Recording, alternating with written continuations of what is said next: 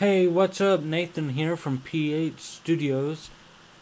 What we're going to do in this tutorial, we just finished the menu screen and got things all figured out. We still have some commented stuff because we have not done the play screen or the help screen. So before we go into the help screen, there's something we need to discuss, and that's game1.cs modifications. And we just want to do this to see how things are going so far. We can use it for testing purposes. So let's go ahead and modify this. As usual, game1.cs is a pretty a standard name, so I like to right click and go to rename, and let's name it uh, space shooter game.cs or anything you want. Leave the .cs and click yes. Alright. So now let's double click that to open it up. Now, we already have a screen manager. That's one of the things we brought in from one of my already created samples. And we already have that in there. So if we just do screen manager, again, I have not discussed those. I discussed that, those about four tutorials in the past. So you can check it out from the panels tutorial, the PDF tutorial for this, the advanced techniques tutorial that is about screens and you'll get a detailed explanation on what a screen manager is and how to build your own. So the class is screen manager, let's call it screen manager, lowercase s.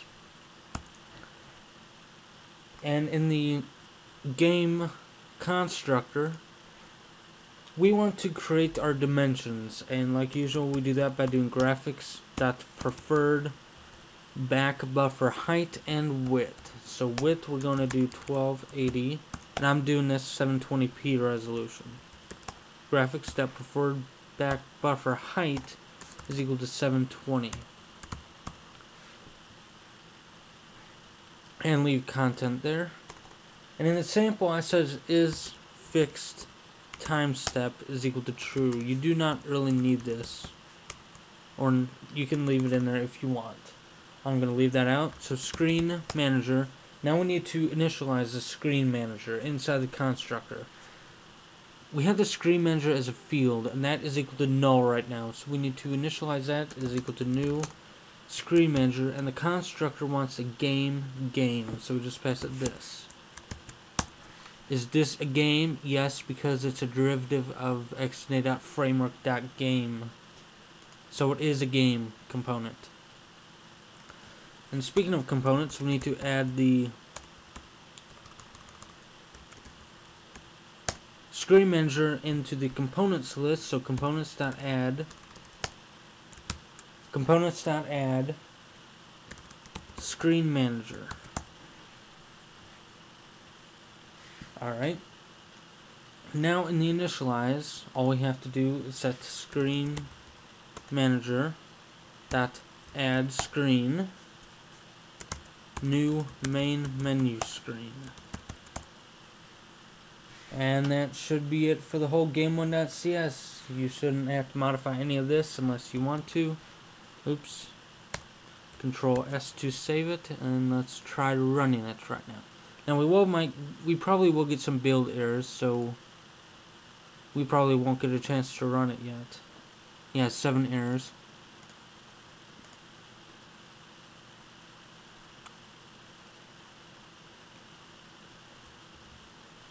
Make sure you case sensitive. It's so the target is bullet was lowercase, so make sure that's correct.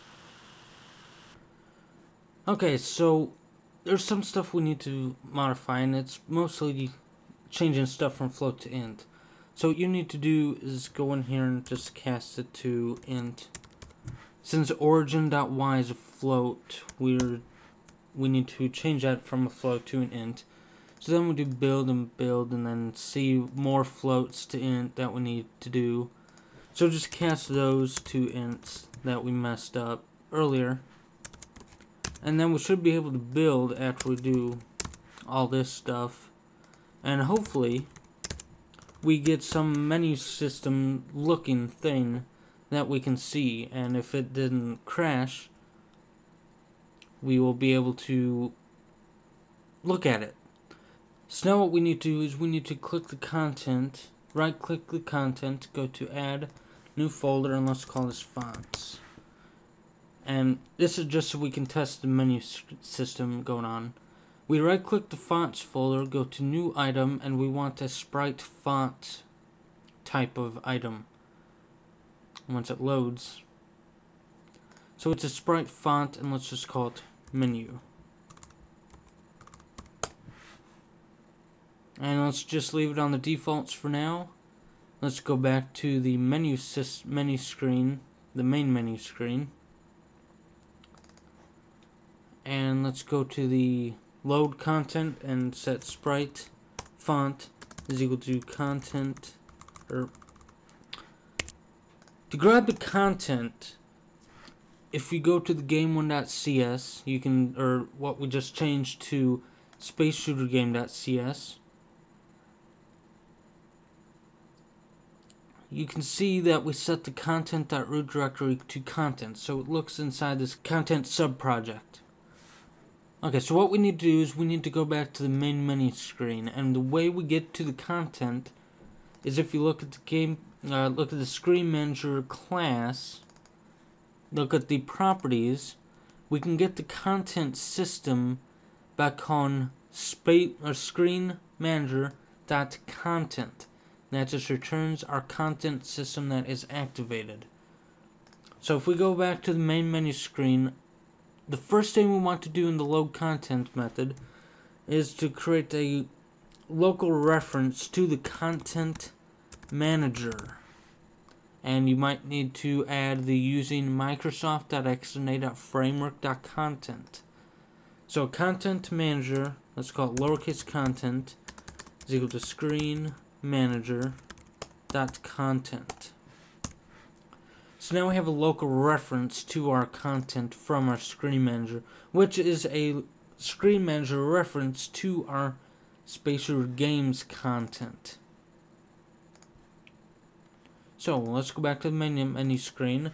Now, lower, sp capital sprite font is equal to lowercase content dot load. So the type we want to use as the sprite font type and what we want to call it is a if you click over there on the right hand side where it says menu.sprite font let's go to view properties. You can see the asset name is menu but we're in a different folder. So what we need to do is we need to get to that folder and then menu and then we should just do at for a complete reference path to there. And then we click the sprite font right here so we can add the using Microsoft.xna.framework.graphics. So that that sprite font is referencing the sprite font inside the graphics framework. And what we need to give it as the content to load is the this menu.sprite font. So if you click there, and if you go to view properties window, you should see that the asset name is just menu. However, we're in a different folder than the standard content folder. So what we need to do is we need to go in and actually do a path reference to that. And the way we do that is we use an at quote the folder name we want to go to,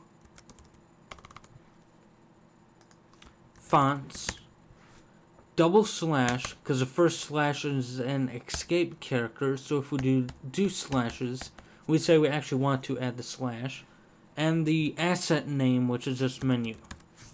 End quote.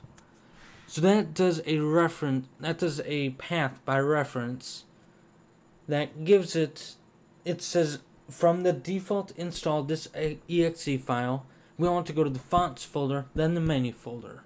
So that's what the at is for. Now if we leave that out and then try to start debugging, yeah, it'll work. But lots of people like to use the at. So it's up to you. So now if we go to debug and start debugging, you can see that we can and we also have an input system so we can do some stuff. Now, this is the default font, so it's a little bit small. It's not as what we want it to be, but we'll get there. And it currently does not work because we have nothing to do. However, Play Game just quit for some reason. So, we know for sure that it's being drawn and we can go from there. So next tutorial, we're going to do the help screen. Hope to see you next time.